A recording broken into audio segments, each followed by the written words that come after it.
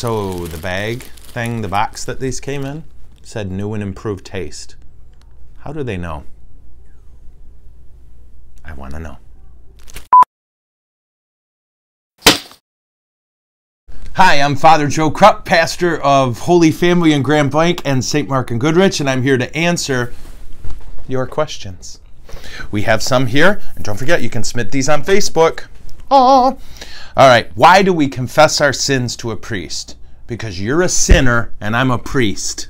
I'm just kidding. All right, although I guess those are true, but I'm also a sinner. Uh, I do double duty as a sinner and a priest. Uh, why do we confess our sins to a priest? Lots and lots of reasons. Uh, we really believe it started with Jesus' mandate uh, to the disciples, where he uh, is talking to Peter, and he says, uh, "Let's see, blessed are you, Simon, Simon, son of John, for mere flesh and blood have not revealed this to you, but my Father in heaven. And I tell you, you are Peter." And on this rock I'll build my church, and the gates of hell will not prevail against it. I give you the keys to the kingdom of heaven. Those sins you declare bound on earth are bound in heaven, and those things which you declare loosed on earth are loosed in heaven.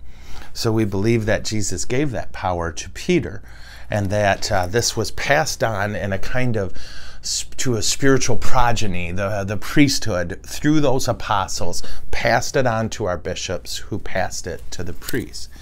And I, at least for me on a practical level, it's a recognition of a few, few of our human needs, okay?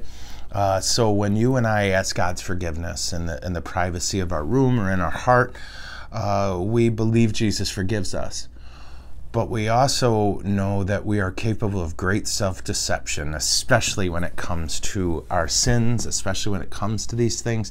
There is a potent human need that is met when a priest looks you in the eyes and tells you that Jesus forgives you.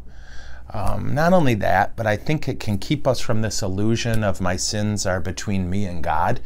Um, that's cute if that was possible, uh, but every sin we commit affects others. It unleashes a chain of events that we won't see the end of. Uh, it's a recognition that our sin is communal, that it's, I think, impossible for me to commit a sin that only affects me. Um, so, those are just some of the reasons thrown out there in no particular order. Um, and uh, that's what I got on that one. All right, let's do another one. La la la, stir, stir, stir. What is the best part of being a priest? Oh my gosh.